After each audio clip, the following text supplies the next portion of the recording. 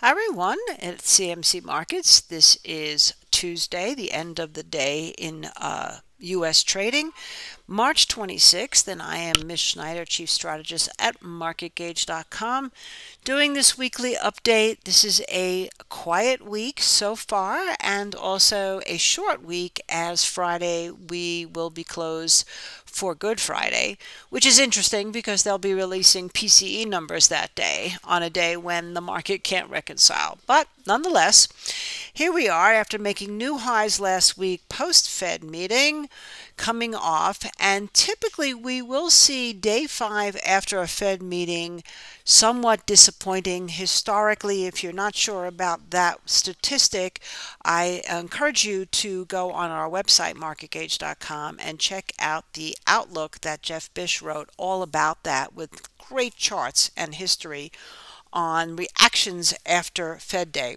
But nonetheless, here we are now. The high of the entire move was at 52.61 and we closed that day the low was 52.41 and the next day we closed underneath that at 52.34 so technically again we're getting a low volume sort of reversal doesn't necessarily mean, as we haven't seen one in quite some time, it'll be devastating in terms of 10% lower, which of course would be like a 500 point move. But none, it does look so far like we're getting a bigger red bar today as we're getting into the close that we've had in a while. So in terms of looking forward on the SPX, the other interesting aspect, of course, is one more mean reversion. We've had them before and they haven't gone anywhere. So last week I mentioned to you that we had not been under this 50-day moving average on our real motion momentum indicator in a very, very long time. So if the momentum continues to go down and we break under the 50, then perhaps this is the start of a bigger correction. One thing I can tell you is that there are a lot of people on the sidelines who kind of missed the boat and are praying for such correction. So what kind of numbers can we look at right here? Well, this is an interesting day, the day before, because you had a classic doji. So if we look at the range 52.19, 52.18, um, right? That was the open and the close. That's a classic doji. 52.18, let's call that then our pivotal number. So I would say above 52.19, will be bullish. Below 52.19 or 18, we will have to be somewhat, I would say, neutral to cautious to the downside. If it breaks down under this 15, 18, and with today's low, by the way, at 52.04, then I think we really have to look back here. And if you look at look at the wicks here, there's three wicks here, there's another one here, and another one here all of that comes in at around 5180. Now the low this day was at 5171. So I would say 5171 to 5180 will be the next area of support for us to look at. And of course, if that breaks down, then the next area we'd be looking at would be the top of this wick here and the bottom of this wick here, or at around 5135. On the upside, of course, if we get through 52.19 tomorrow, for some reason, we have a strong end or middle of the week, then uh, I would be saying now you have to look at this high right here at 52.30. We'd have to get through that. Today's high, of course, was 52.35. You could see we didn't stay there very long. And then over that 52.30 to 52.35, I think your next area of good resistance would be the low of this day, which is at 52.40. My sense is, given the momentum, given the fact that we have been up for so long, and given the fact that in another couple of weeks we're going to start earnings, we have a stronger dollar, and our yields have remained relatively firm even after somewhat of a dovish Fed, that will work our way a little bit lower before we see a potential higher. So the gold futures continue to outperform the SPY. And at this point, we're seeing a bunch of consolidation and chop. Couple of things you can see immediately that look in better shape than the SPY is right down here. If we take a look at the momentum, because we're holding the Bollinger Band, and we saw that the SPY looked like it was starting to get that mean reversion. And this is also pretty far from the 50-day moving average, so that gives us some room potentially for some downside. It seems to me like right now the overall range is between 2150 and 2180 and we could chop in between those $30 and we can do that for the rest of the week clearly. So where would we start to get a little bit more ambitious in terms of a long gold? Maybe from a very near term standpoint, if we get over this 2180, that would bring us probably back. Notice there's resistance all the way, but 2185 to 2190.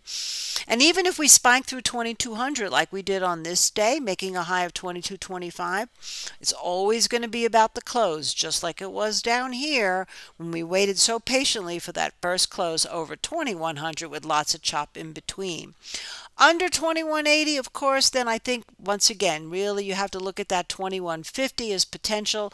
Maybe this week it stops a little bit above that at 2160. And if we do break down under that 2150, then I would say the next area that you're going to be looking at would probably be somewhere around here at 2123, 2125. Longer term, we do not believe that this thing will break back down under 2100, and if it does, it would be ever so brief, maybe 2080, and then pop back up. And like I said, over 2200 at this point on a closing basis, we see no reason why gold can't continue going up. And what would make gold go up, of course, would have to be the silver futures, which right now hasn't cooperated. So at this point, with all the talk of inflation, we're still not seeing the classic signs that we look for for inflation. We have the dollar that's strong. We'll take a look at that momentarily. We have the yields that are sort of flat, certainly not lower.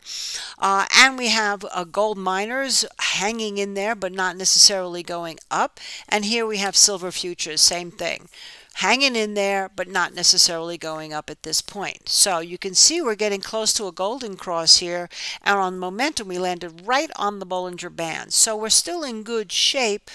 Where would things start to look a little bit iffier, I think, is if we break down under 2380. So that gives us a lot of wiggle room here to have some chop and still keep the uptrend intact. For the much nearer term right now, if we take a look at the low of this way, day 2472, figure 2475, we're above 2475, then I would have to maintain more of a friendly bias. Of course, we have resistance all the way up, starting with 2510 then really basically even going up here to 2538 to 2540 and you can see on this day where we opened that was at 25 uh, oh, oh, excuse me, we opened to 2580, that would be amazing. And it's really 2650, I think, that we have to clear to go into a crazy uptrend.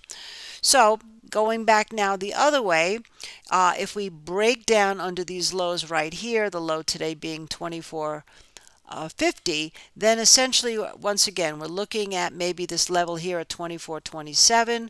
Um, and then again, possibly, like I said, maybe we'd see a low as much as 23.80, but I can't imagine we're going to go much lower than that at this point. But of course, anything could happen. So last week we talked about the dollar yen. And we looked at the fact that after the Bank of Japan had finally raised interest rates a little tiny bit, it had a negative impact on the yen. And we know that it definitely behooves uh, the Japanese government to not allow the yen to free fall, but nonetheless, it is definitely weakened against the US dollar. This, of course, leads with the dollar. However, we talked about that 150, right? We got through that 150 pretty handily, and that we said that we might have to look back to some historical movements back here which is really going back to uh, November 2023, that the next area of resistance would be exactly where it's come into, which is around 151.70. So if it gets through 151.70, I think that means dollar gets even stronger, and then we can look at some of the implications to the yen and the Japanese stock market. On the other side, if we see the dollar break down under 151.26, then I think we might be able to see this come back down first to 150.50, and then of course that would be looking at 150, which was the huge breakout, even though we had all of this work prior to that. So you can see that's pivotal. Ultimately 150, 150 50, or 150 even. Now, if we go back a little further, let's say we do get through these numbers of 150, 170, then the peak that we've had right here at the middle of November is at uh, 150, 190. So that would be the next target. Okay, moving on to oil. Um, this is cash crude. Uh, of course, we've been trying to get through that $82 barrel after we were briefly above it the week before.